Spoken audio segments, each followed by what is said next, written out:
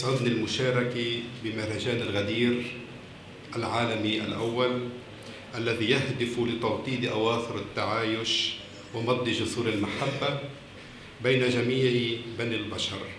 وقد حللنا ضيوفكم من لبنان لنفكر معا في إيجاد السبل الكفيلة بتحويل واقع الاختلاف الدائم إلى البحث في المشتركات وهي كثيرة. واخترت لمشاركة عنوان الإنسانية في المسيحية والإسلام المقدمة. في البدء خلق الله الإنسان على صورته وعلى صورة الله خلقه ذكرا وأنثى خلقهم. فالإنسان محل فريد في الخليقة إنه على صورة الله في طبيعته الخاصة يجمع ما بين العالم الروحاني والعالم المادي خلق ذكرا وأنثى اختصه الله بصدقته. حيث لا يخفى بأن الوصايا العشر والتعليم التي جاءت بها جميع الشرائع السماوية منذ التكوين لها الأثر البالغ في تقويم المنح الإنساني ورفعه عن كل ما يشين بمسيرته الهادفة إلى الكمال. وكل مساء السماء هي تأهيل الإنسانية التي من شأنها أن تأخذ الإنسان إلى مراكز السعادة والعيش بسلام. فالإنسانية يا إخوة واحدة مشتركة بين جميع أفراد الأديان السماوية منذ القدم. رغم اختلاف الرؤى والعمق الحضاري يبقى اعتبار الإنسانية من المسائل المشتركة بين بني البشر. لأن مصالحنا الاجتماعية واحدة فما يصيب أحدا يصيب الآخر قهرا سلبا أو إيجابا. كما يطيب لي أن أشير للدور الرياضي والمهم للحوزة العلمية في النجف الأشرف العتبة العلوية المقدسة حيث بادر مهرجانكم الغدير العالمي الأول لوضع آليات للحد من نشر الكراهية وإشاعة المحبة والتأكيد على المشتركات بدلا من الاختلافات. ومن أهم ما يهدد المجتمع هو الفشل في احترام الإنسان لإنسانيته وكيانه وشخصيته المتمثلة بمشاعره وممارساته الإنسانية غير الإنسانية أصلا كالاعتداء على الآخر والغاء كرامته. وجاء بأمير المؤمنين علي بن أبي طالب بكلمته الشهيرة قبل 14 قرنا الناس صنفان. إما أخ لك في الدين أو نظير لك في الخلق. فإنه يؤكد اليوم علينا من جديد هذا الأمير علي بن أبي طالب عليه السلام أيضا في كتابه إلى والي مصر الصحابي مالك الأشتر في موضوع سخط الناس وليكن أحب الأمور إليك أوسطها. في الحق وأعماها في العدل واجمعها لرضا الرعية فإن سخط العامة يشحف برضا الخاصة وإن سخط الخاصة يغفر مع رضا العامة. فإن من الناس عيوبا عيوبا الوالي أحق من سترها. فاستر العورة ما استطعت يستر الله منك ما تحب ستره من رعيتك.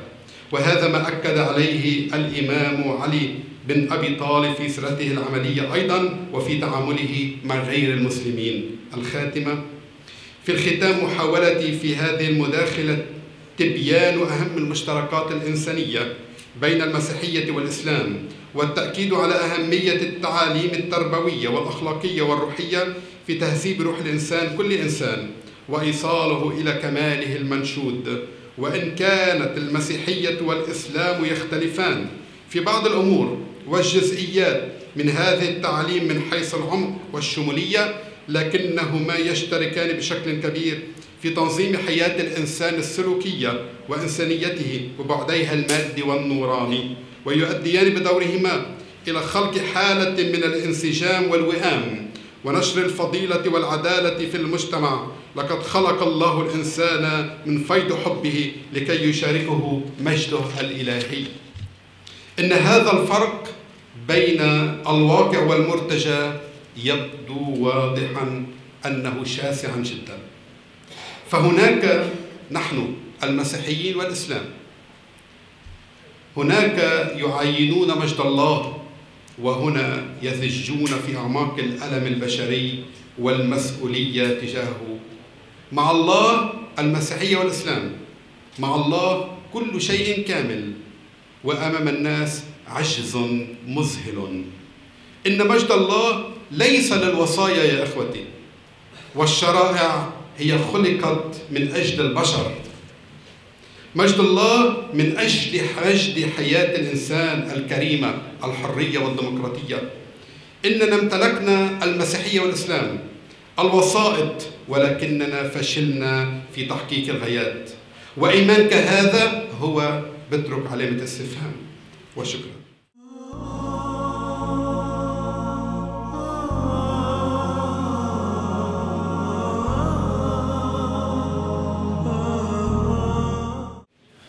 أعوذ بالله من الشيطان الرجيم.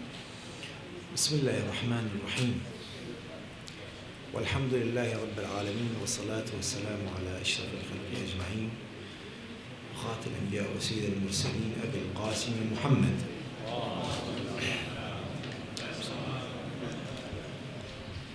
السلام عليك يا مولاي يا أمير المؤمنين. أخوتي الحضور السادة العلماء الأفاضل ومن له عنوان ديني أو وظيفي أو مقام اجتماعي. السلام عليكم جميعا ورحمة الله وبركاته. بحثي هو فلسفة الحوار عند أمير المؤمنين عليه السلام. بحث مفصل قد يكون أكثر من 400 صفحة. ولكن اخترت منه فصلا واحدا وهو فلسفة الحوار العقائدي عند أمير المؤمنين. وبديهي أن هذا العنوان فيه نماذج عديدة ولكل نموذج فلسفة بمعنى استنباط فكرة أو عدة فكر من ذلك الحوار.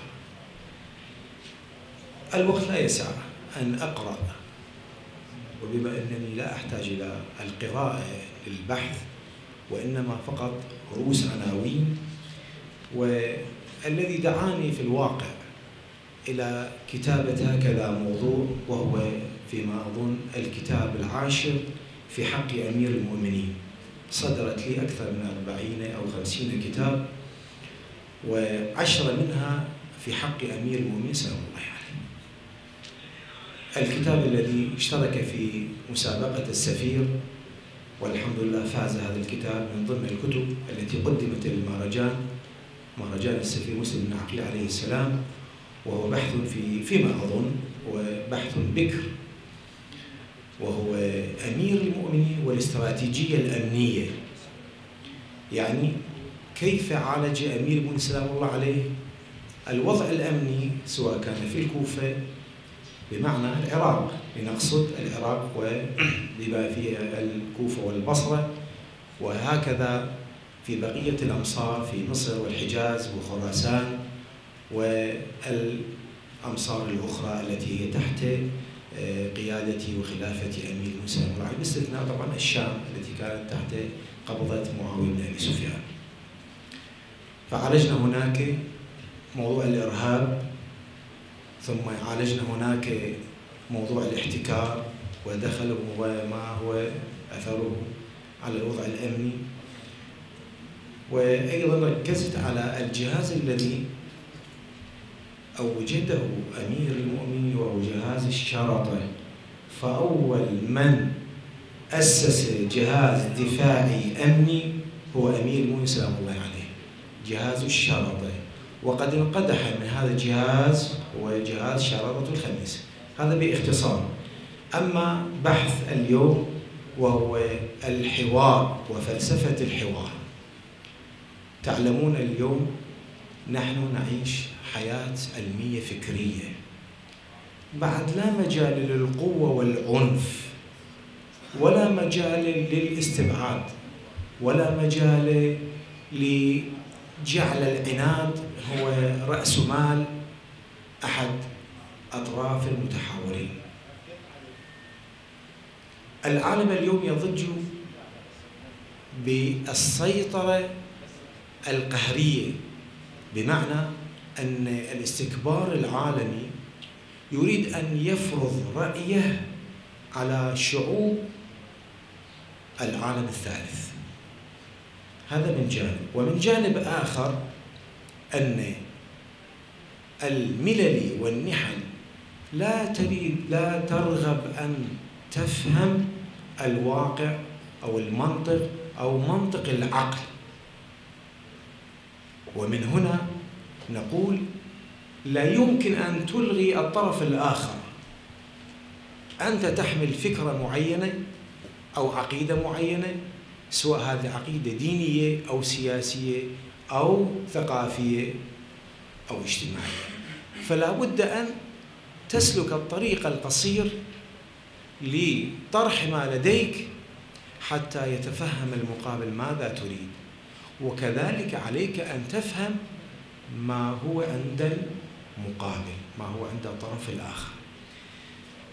في موضوع الحوار العقائدي نموذج واحد وأختم الحديث بحسب ما لدينا من الوقت المضغوط.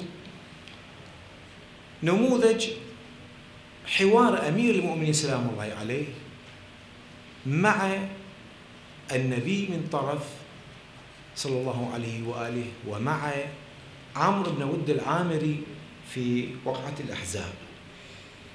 ينادي عمرو بن ود هل من مبارز في الوجوم والسكوت؟ يسيطر على جميع المسلمين والنبي بين ظهرانيهم. كل الصحابة إلا علي عليه السلام يقوم. فيقول له النبي اجلس. ينادي عمرو مرة ثانية. والوجوه يسيطر على القوم ويقوم أمير المؤمنين والنبي يقول اجلس يا علي. وبالمرة الثالثة يقول له النبي هذا عمرو هذا عمرو بن ود العامري يعد بألف فارس. وعلي يقول يا رسول الله وأنا علي بن أبي طالب وأكرم بك يا علي. فآنذاك يأذن النبي لأمير المؤمنين إلى البراز. يبرز تكون هناك محاورة بين أمير المؤمنين وبين عمرو خلاصة الحوار. أذكر لكم النقاط يعني فلسفة الحوار في هذا الأمر أو في هذا النموذج. أولا الإيمان الصادق والإيمان والعقيدة الثابتة عند أمير المؤمنين عندما يقول وأنا علي. ومن هو عمرو بن ود العامري هذه نقطة مهمة. الثقة بالنفس الإيمان الكامل العقيدة الراسخة عند علي عليه السلام لم تتغير. النقطة الأخرى غير الثقة هي العقيدة. العقيدة مهمة جدا. يوم الخندق وتكالب الكفر والشرك واليهود وجميع من له موقف سلبي أمام الإسلام كذلك وقفوا ضد الإسلام ولكن أمير المؤمنين وقف الموقف المشرف والصحابة كلهم على مرأى ومسمع من قول أمير المؤمنين سلام عليه. هناك معادلة رياضية يعني إذا قال النبي يا علي هذا عمرو بن ود يقول أنا وأنا علي بن أبي طالب أنا نذرت نفسي للإسلام انظر هذه نقطة مهمة وهو الفداء والتضحية لأجل الإسلام لأجل إعلاء كلمة لا إله إلا الله محمد رسول الله. من فلسفة هذا الحوار التأكيد على الإيمان دون القرابة. أمير المؤمنين لم يتجه إلى صلته مع النبي كونه ابن عمه وماذا زوج ابنته. وإنما الإيمان هو الذي دفعه أن يقول وأنا علي بن أبي طالب. من الدروس الأخرى درس مهم لذوي السلطة السلطات ولذوي أدوات التنفيذ في كل بلد في كل عالم. هذه الأدوات أمير سلام الله عليه وجه لهم درسا مهما ما هو؟ قال لهم حاوروا. لا تتسلطوا على الناس لا تكون لديكم السلطة والعنف بل حاوروا إذا أنتم على حق. لذلك الحوار يكشف لنا شخصية ماذا؟ المحاور والمحاور وكذلك يكشف لنا الفكرة التي تستند عليها هذه المحاورة. الدرس الآخر وهو الدرس الأخلاقي والدرس العقائدي الذي لابد أن نستفيد من هذا الحوار الذي قدمه أمير المؤمنين سلام الله عليه. على أي حال البحث مفصل ولا أستطيع أن أذكر كل فصول هذا البحث. كل ما هناك أقول وأخاطب جميع المسلمين في العالم. بل الأديان بل أصحاب العقائد والأفكار والنظريات السياسية عليهم أن يحاوروا شعوبهم. وكل فرد أن يحاور الطرف الآخر بشيء من الدعة والمحبة والوداد ولا تفرض رأيك على الطرف الآخر بدون دليل وبدون برهان. عليك بالدليل والبرهان والحجة القاطعة حتى يسود الوئام والمحبة في صفوف المجتمع وبين البشرية. والسلام عليكم ورحمة الله وبركاته.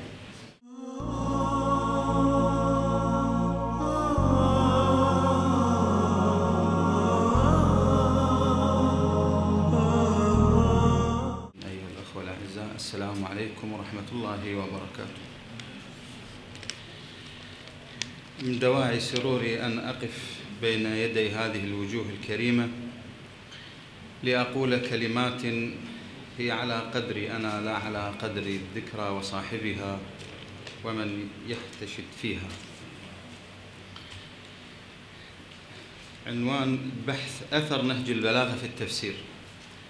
الواقع كل من كتب عن التفسير والمفسرين يعدد وجوه الصحابة الذين عرفوا بالتفسير وبضمنهم الإمام أمير المؤمنين عليه عليه السلام. يأتي في مقدمة من يرى هذا الرأي يأتي في مقدمتهم عبد الله بن عباس. وأبدأ كلامي بمقولة للسيوطي عندما يعلل كثرة التفسير عن ابن عباس أو عن الإمام أمير المؤمنين عليه السلام أولا يقول أن كثرة التفسير عن الإمام أمير المؤمنين عليه السلام إنما جاءت أن الإمام تأخر في حياته أكثر من الخلفاء وكثير من الصحابة. فكان هذا هو مدعاة كثرة التفسير المأثور عن الإمام أمير المؤمنين. ثم يقول عرف التفسير عن طريق ابن عباس لأنه تلميذ علي عليه السلام. والواقع نحن لا نتفق مع السيوطي والواقع العملي والعلمي لا يتفق مع مقولة السيوطي لأن كثيرا من الصحابة عاشوا كثيرا بعد علي عليه السلام ولم نلمس منهم هذا البحث التفسير الراقي. ولكن عليا كان باب مدينة علم النبي صلى الله عليه وآله وسلم. وأن رؤوس مدارس التفسير سواء كان مدرسة مكة أو المدينة أو هم تلاميذ علي بن أبي طالب وهم عبد الله بن عباس عبد الله بن مسعود وأبي بن كعب وهؤلاء كلهم تعلموا في مدرسة علي وعنه أخذوا التفسير. أنا لا أريد أن أتحدث عن التفسير ولكن من خلال هذا البحث أريد أو أوضحت أن أول من أعطى حجية للتفسير أو أعطى حجية التفسير هو الإمام أمير المؤمنين عليه السلام. لقد تناولت في هذا الموضوع أثر نهج البلاغة في التفسير. هذه الياقوتة من يواقيته الفريدة في عقده الرباني ياقوتة التفسير لتضاف إلى ما كتب عن يواقيته الأخر في اللغة والبلاغة والكلام والتاريخ وغيرها. أما ما يذهب إليه من يرى عدم إمكانية تفسير القرآن إلا عن طريق أهل البيت حجتهم بذلك أن أهل البيت هم الذين آتاهم الله عز وجل علمه فلا يرغب عنهم ولا ولا عن مسألتهم إلى سواهم لأن عدم مسألتهم يوقع في الهوى والانحراف. فهذا المعنى صحيح لا نقاش فيه ولكن فيما يتعلق بالأحكام وتفصيلاتها. ولعل كل ما أوردوه من الأحاديث يعني أصحاب هذا الخط في هذا المعنى هو فيما يتعلق بمعرفة تفاصيل الأحكام الشرعية. وليس هذا بكثير قطعا على على على آل محمد. لأن رسول الله صلى الله عليه وآله ورثهم علم الكتاب كله ظاهره وباطنه. فقد روي عن الإمام أبي جعفر الباقر عليه السلام في تفسير قوله تعالى قل كفى بالله شهيدا بيني وبينكم ومن عنده علم الكتاب أنه قال إيانا عنا وعلي أولنا وأفضلنا وخيرنا بعد النبي صلى الله عليه وآله ومن هنا يتبين لنا أن كل ما أوردوه من أحاديث واستشهدوا به من أقوال في عدم الحاجة إلى تفسير القرآن الكريم أو عدم إمكانية تفسيره والاقتصار على ما ورد عن المعصوم عليه السلام إنما هو من باب عدم جواز استنباط الأحكام النظرية من ظواهر القرآن إلا بعد معرفة تفسيرها من الأئمة عليهم السلام. ووجوب التوقف والاحتياط في القضاء والفتوى والعمل في كل مسألة نظرية لم يعلم حكمها بنص منهم عليهم السلام لأنهم هم الذين يعرفون الحلال والحرام وهم الحجة لله عز وجل على خلقه لا شك أن كثيرا من الناس لا يستطيع أن يستوعب كثير معاني كثير من الآيات ولعل بعض هؤلاء ممن كانوا معاصرين لنزول الوحي فكيف بمن جاء بعدهم مع تعدد دلالات النص القرآني وما حفل به من المتشابه والمحكم والمطلق والمجمل والعام والى آخره. وإذا كان النص القرآني خطابا للناس كافة في كل زمان ومكان على مر العصور وكر الدهور وتعدد الأجيال حتى يرث الله تعالى الأرض ومن عليها فستكون الحاجة للتفسير أكثر كلما ابتعدنا عن عصر نزول الوحي وملابساته والظروف المحيطة بنزوله والآيات وقرائن الأحوال، فنحن اليوم نحتاج إلى ما يحتاج إليه من عاصر نزول الوحي وزيادة، وهذه الزيادة يحتمها علينا النص القرآني الذي يتميز بالجده في كل زمان. فقد جاء في الحديث الشريف إن الله تبارك وتعالى لم يجعل القرآن لزمان دون زمان ولناس دون ناس فهو في كل زمان جديد. مؤدى الآيات القرآن الكريم جاء ليستفيد منه الناس كل الناس كما قال تعالى هذا بيان للناس وهدى وموعظة وهو تبيان لكل شيء ويوم نبعث في كل أمة. هذه الآيات مؤدى هذه الآيات الكريمات أن فهم القرآن ليس بمقصور على جماعة أو صنف من الناس وعلى المفسرين من العلماء والفقهاء وإنما جاء القرآن الكريم ليستفيد منه الجميع وقد كان لهذه السمة أثرها الواضح في فهم القرآن الكريم. لكن مع دقة الفهم هناك مراتب ودرجات من المعارف القرآن لا يمكن أن ينالها الباحث بالتدبر والبحث فطريقها ما أشار إليه الإمام أمير المؤمنين عليه السلام.